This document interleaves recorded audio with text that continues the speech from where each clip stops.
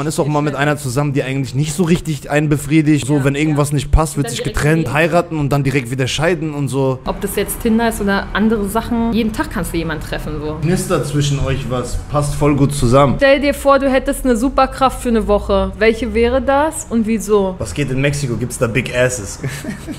ich habe auch einen Verband gegründet, der Deutsche Booty Test Verband. Allein deswegen habe ich halt auch krassen Research gemacht hier in Lateinamerika, dass ich da dann auch wirklich abschätzen kann und einschätzen kann, wie ist es im weltweiten Vergleich auch. Und wenn du das nicht feierst, dann feierst du mich nicht. Und dann get the fuck out of here. Kennst du den Film 007, James Bond? Ja. Der springt da einmal von so einer Staumauer runter und das ist die.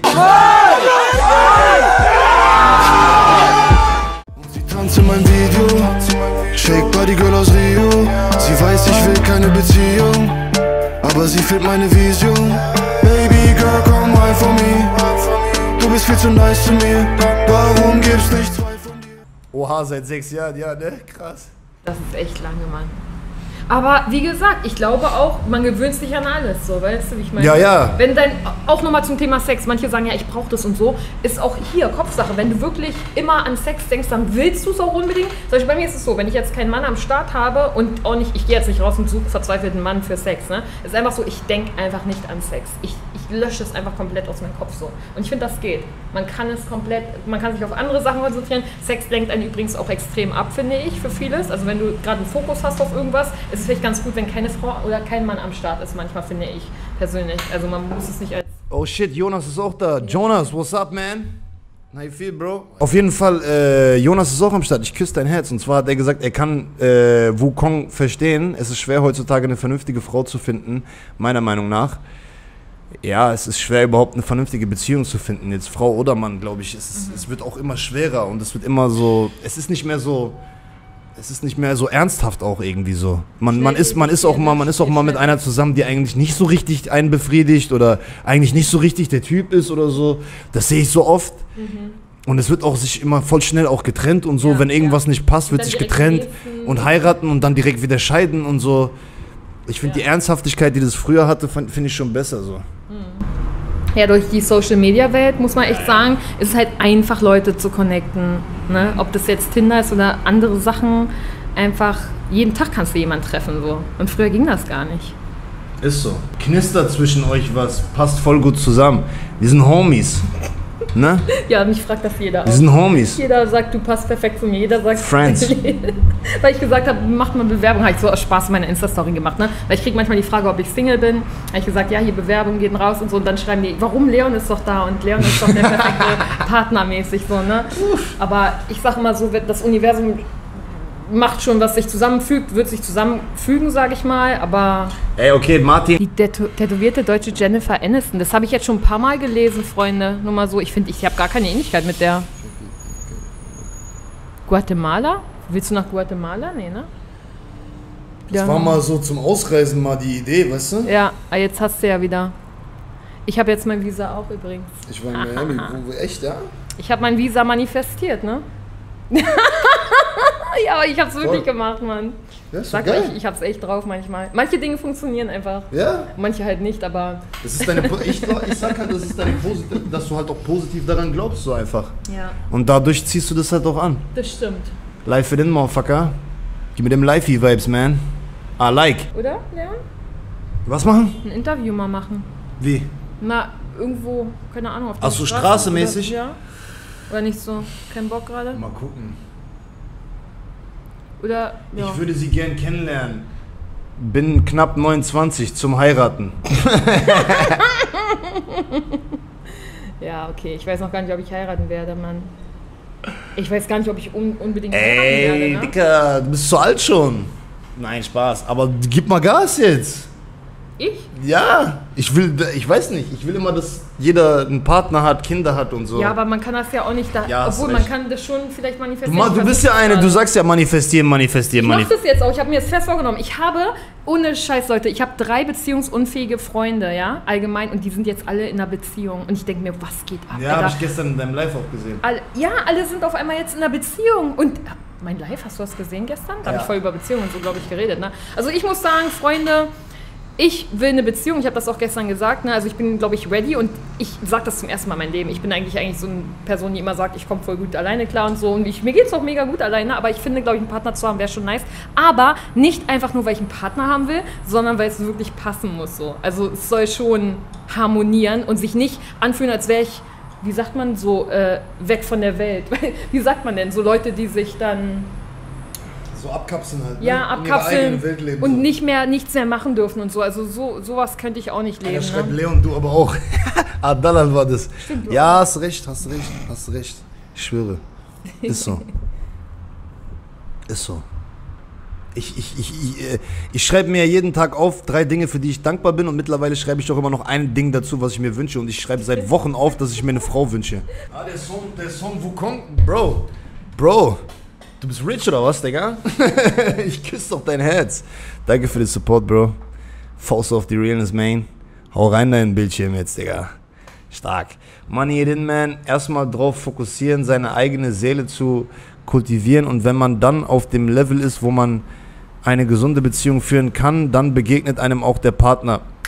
Ich küsse dein Herz. Genau derselben Meinung bin ich auch. Ich habe vorher immer gesagt, ah, wo bleibt denn die Partnerin? Ah, Mann, wo bleibt die denn? Wo bleibt die denn? Aber mittlerweile ist mir mehr bewusst, dass ich selber nicht ready war als denn je. Und dass man da einfach arbeiten muss, um sich selber ready zu machen, weil du wirst erst die Frau bekommen, die dich haben will, wenn du der bist, der du sein willst, Bruder. Ja, genau. So. Du musst selber auch die Traumfrau sein für die Person, wenn du deinen Traummann willst. Das glaube ich zum Beispiel auch. Ne? Ja. Wer versteckt sich hinter dem Namen? ich küsse dein Herz oder danke für den Support. Jetzt schon ein bisschen unangenehm gerade.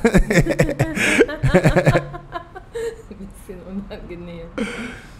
Ah, er wollte das noch zu Ende schreiben. Kann begegnet einem auch der Partner, mit dem man Ach ein so, Lebewesen in die Welt ah, bringen ja, kann. Be unique. Be unique, motherfucker. Bester Mann. Ich habe echt teilweise so eine geilen, geilen Leute in der Community. Das ist echt. Ja, Also wenn ich mir auch die, die, ähm, wenn ich mir auch die Kommentare manchmal durchlese und so, gerade auf dem Highlight-Kanal, so, wenn es dann deeper wird oder wenn es um Themen geht, so, es gibt echt viele krasse, herzliche Menschen, die halt auch wirklich auch eine Meinung haben und ein eigenes, so, ich weiß nicht, so einfach, weißt du, so anders sind als, als der normale Kommentierende. Habe ich das Gefühl. Ich glaube, unsere, also meine Community hat schon sehr viel Herz am Start. So. Ja. Ja klar, ich meine, du vermittelst den, ich meine, die Leute, die sich für den Inhalt interessieren, müssen ja auch irgendwie, weißt du, irgendwo hat man ja auch Matchen so, ne? Gemeinsamkeiten, ja. Was geht in Mexiko? Gibt's da Big Asses? Gibt's die Big Also wenn du Big Ass... Ja, ne, ja. Also Mexikanerinnen haben von Haus aus auch ja, ein big, bisschen... big, bigger als die Deutschen? Ja, safe. Ich weiß gar nicht, mir fällt das gar nicht so auf, ey. Ich Safe. Die Kolumbianerinnen Ja, haben einen Kolumbia, gemachten ja, okay, da ist aber viel Fake dabei, so, Die, ja. machen, die machen ihre, ja, ey, hier sind ja kaum Mädels, ne, leider, aber sonst hätte ich gesagt, ich finde das voll krass, dass so Erzähl, viele erzähl. Mädels ihre Ärsche machen und das sieht, das ist so auffällig einfach, weil die Beine sind so und dann kommt der Arsch so raus. Hä? Das ist voll der Trend auf jeden Fall hier, wollte ich nur mal so sagen. In Ja, ich Deutschland war- ist ich das war- nicht so, glaube ich, Ich muss oder? sagen, ich war auf jeden Fall mal eine ganz lange Zeit früher mehr davon abgeneigt, als es mittlerweile der Fall ist, so. Sieht aber komisch aus, ist nicht?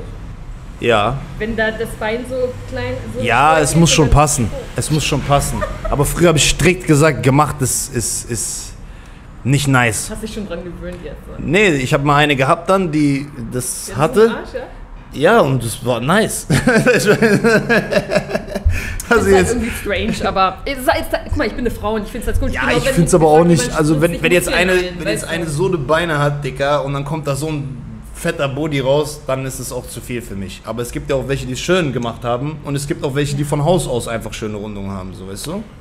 Klar, aber Wo man manchmal denkt, das ist gemacht, aber es ist gar nicht gemacht. Also es gibt auch viele ja, Frauen, okay, die gerade hier in den lateinamerikanischen Ländern, Brasilien, Kolumbien, Venezuela, auch die Mexikanerinnen, da ist manchmal, da denkt man, es ist fake, aber ist nicht fake. Okay. Ja, also ich kann es Also ich sehen. bin da im Thema auch, weil das ist auch mein Thema so. Und ich habe das alles schon studiert und habe das alles schon. Ich habe auch einen Verband gegründet, der Deutsche Booty Test Verband. Allein deswegen habe ich halt auch krassen Research gemacht hier in Lateinamerika, dass wenn ich auch mal wieder zurückkomme nach Deutschland und den ein oder anderen Booty teste an der Stelle, dass ich da dann auch wirklich abschätzen kann und einschätzen kann, wie ist es im weltweiten Vergleich auch. Weißt du, im Ranking halt. Klar, ganz wichtig. ja, aber stell mal vor, das wäre genauso wie wenn sich hier ein Mann Muskeln einspritz, einspritzen lässt, so Brustmuskeln. Das wäre auch nicht cool, Alter. Also, sorry. Ich finde es ein Nee. bisschen Abtöner, Ja, Abtörnermäßig. Ich finde es geiler, wenn man. Ich finde es aber. Töner. Mann, finde es aber geiler, wenn die Menschen ins Gym gehen und dafür schwitzen, so weißt du, dass sie es haben. Einfach Ja, so. voll, voll, voll. Und Stimme ich voll zu. IMBA. lässt du ihn kostenlos bei dir wohnen? Nein. Leon kann ja nicht kostenlos wohnen. Leon muss Miete bezahlen. Le Leon bezahlt fast die komplette Miete, sagen wir mal so. Also er bezahlt mehr auf jeden Fall als ich und ähm, das war auch von vornherein so, weil ich, das Ding ist, Ist auch richtig so und die Leute sollen nicht. Na egal, ich will mich schon wieder aufregen gerade. Reg dich nicht Ist ja auf. eigentlich gar ich meine, ganz ehrlich, Leute, wäre ich jetzt auch in der Lage, dass ich wirklich ein gutes Einkommen hätte, würde ich auch Freunde immer zu mir holen und die müssten auch nicht zahlen. Aber, ja, aber ich wohne ja, ich bin ja, ich bin ja eingezogen Ja. quasi mit allem, was ich habe. Ich arbeite hier. Nein, ist so. Was, hä, ich wohne ja hier. ja, Dann nehm, übernehme ich gerne einen großen Teil von der Miete. ja, das stimmt. Das Also macht man doch auch, ist auch selbstverständlich so. Ich ver verstehe nicht, dass die Leute denken, ey, dass du gratis hier wohnst, so mäßig wie du hast jetzt Viele, keine Wohnung mehr viele. irgendwo gratis unterkommen mäßig. Ja, ja ich habe das auch vielleicht in einen nicht Video, so. habe ich das so, so vielleicht ein bisschen, ich habe das ja auch nicht gesagt und es kam vielleicht ein bisschen so rüber. Ich kann jetzt erstmal bei ihr bleiben, Ach so. dass die Leute irgendwie denken, Ha. Ha. Ich meine, wie gesagt, hätte ich jetzt auch äh, gutes Geld und alles, würde ich auch jeden bei mir gratis wohnen lassen. brauchst du ja nicht. Ich aber habe ja auch, ich verdiene ja auch Geld. Ja, aber ich bin ich ja jeden Tag am Arbeiten und wenn, dann muss ich Ja. auch meinen Platz, wo ich lebe, auch bezahlen. Ich könnte das gar nicht. Hm. Du könntest mir sagen, du kannst hier umsonst wohnen, du kannst machen, tun, was du willst. Kann ich nicht. Hm. Kann ich nicht, ich bin ja keine Pussy. Ja, ist so. Stimmt, das ein- würde man sich als Mann komisch fühlen, ne? wenn man bei Voll. einer Frau so einzieht und dann nichts zahlt. Ich glaube, das ist komisch, als für Mann vor allem. Bei einer Frau, glaube ich, geht noch mehr klar so. Leon, wie geht es dir so und was macht dir so? Bro, ich bin ein bisschen angeschlagen, muss ich ehrlich sagen. Ich bin ein bisschen so, ein bisschen erkältet, Dicker. Heute Morgen aufgewacht mit richtig fettem Kopf und Hals wa? und so. Ja, aber die Klimaanlage in Tulum hatte ich mich eigentlich schon voll dran gewöhnt. Ich glaube, es ist auch die Luft hier. Also eine neue Klimaanlage, neue Luft, so, weißt du? Wie, hoch hast du die Klimaanlage immer? Hast du Nö, kalt? nö. Nee? Ich glaube, ich bin noch ein bisschen erkältet einfach. Also das hat schon in Tulum angefangen. Dann in Miami war es weg, aber ich glaube auch nur wegen dem ganzen Stress. Und jetzt bin ich gerade wieder ein bisschen gestern runtergekommen. Und ich glaube, jetzt sagt der Körper so, ich lass mal den ganzen Scheiß raus. So. Ja, vielleicht auch der Stress, weißt du? Ja, ist so. Der Umzugsstress und Ausreisen und nicht richtig wissen, wohin Voll, mit dir voll, und so. voll, voll, voll. Schlägt halt aufs Immun Immunsystem. Und jeden ne? Tag halt hasseln, aber ich bin ja auch wirklich jeden Tag, das unterschätzen die Leute auch, glaube ich.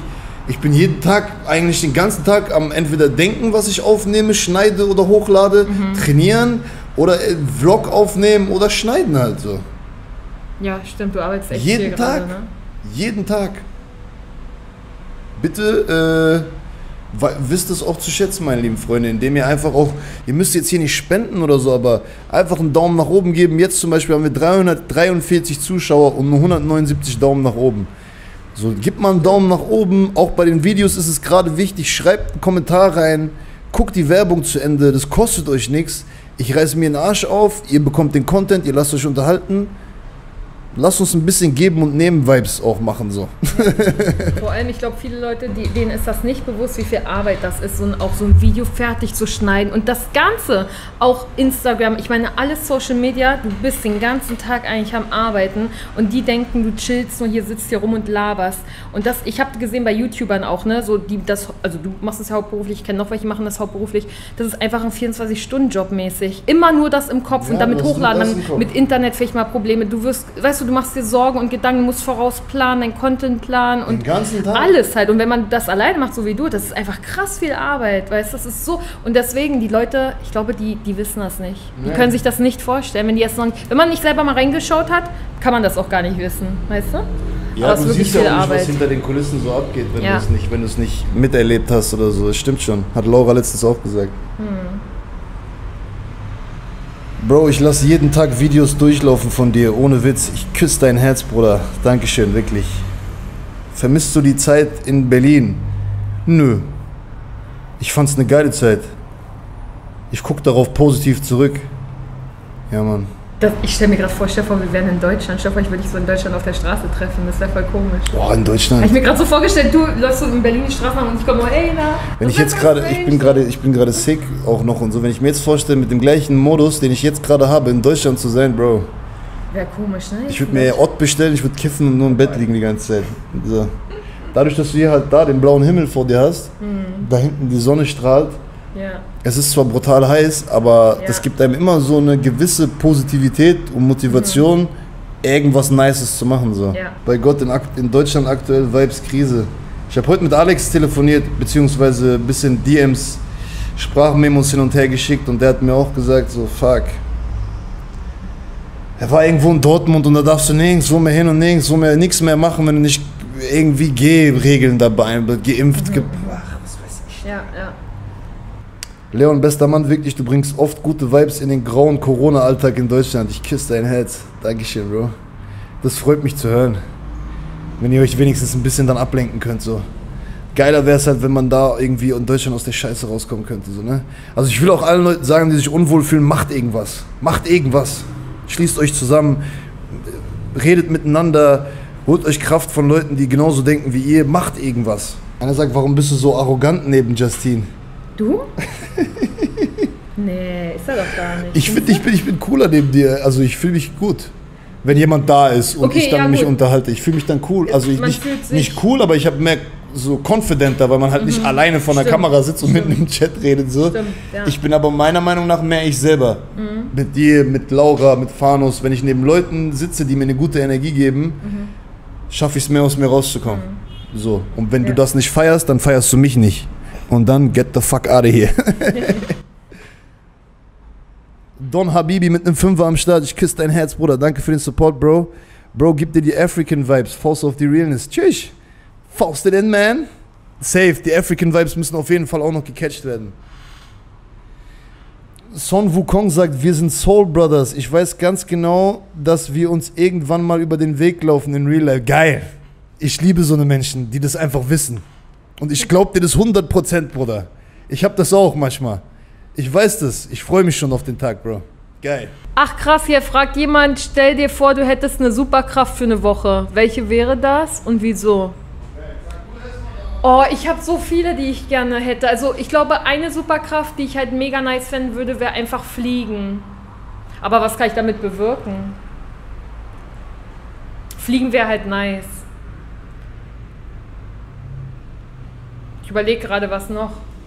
Aber es wäre eher für mich, ne? Aus Spaßgründen her. Das wäre halt lustig für mich. Aber eine andere Superkraft?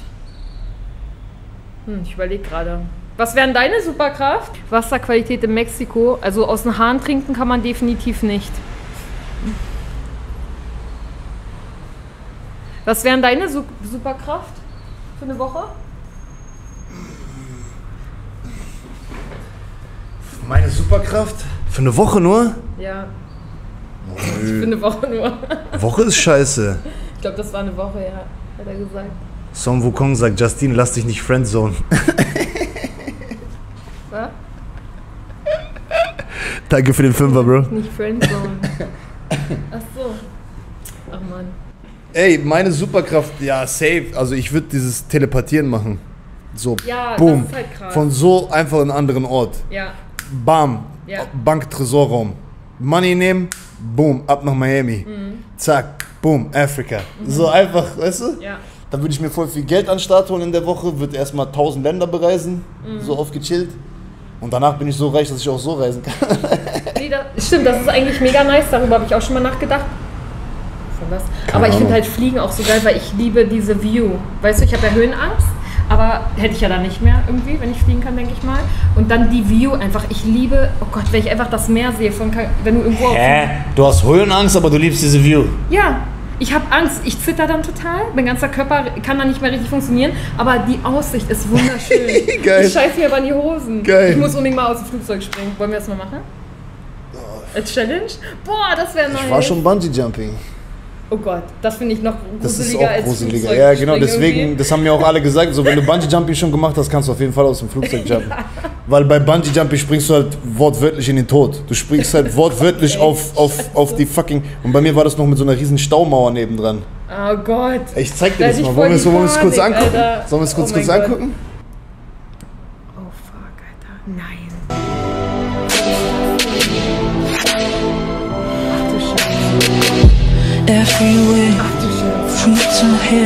Auch die Staumauer halt so. Du, du, du. geht Guck mal, gar guck mal hier, hier, von hier. Von hier springst du halt Geht so. gar nicht, Alter. Und du springst halt hier so runter, mäßig, ne?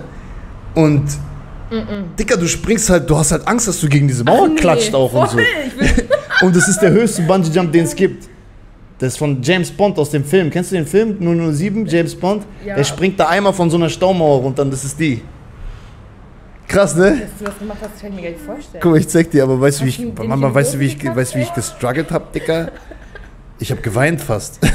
Ich würde ich würd richtig heulen, ne? Guck mal, das Ding ist, Boah, guck mal, das Ding ist, ich Wann bin, ich, ich bin da, ich bin damit hingegangen, so, ne? Und ich habe von Anfang an gesagt, schon zu Hause habe ich gesagt, ich werde niemals da runterspringen. Niemals. Nicht, dass du mir jetzt auf den Sack gehst, wenn wir da hingehen und so. Ich komme einfach nur mit, mache einen geilen Vlog und dies, das, bla, bla, bla. Ich spring nicht da runter. So, ich habe das vorne, von vornherein klar. Dicker, ey, jetzt ist gerade krass, wo ich gerade Stopp gemacht habe, yo. Siehst du das Mädel da hinten? Die da? Ja. Ja. Ich habe die einfach in Tulum getroffen.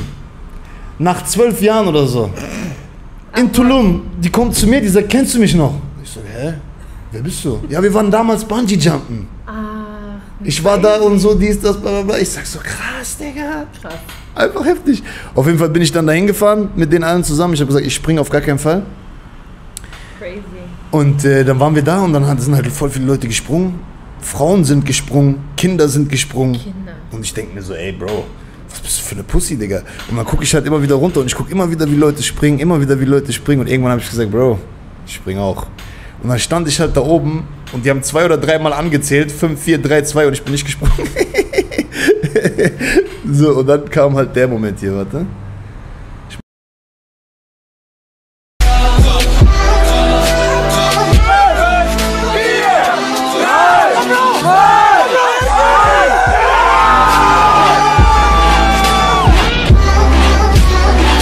Schaut mal, Leute. Alleine wir schwach. Zusammen sind wir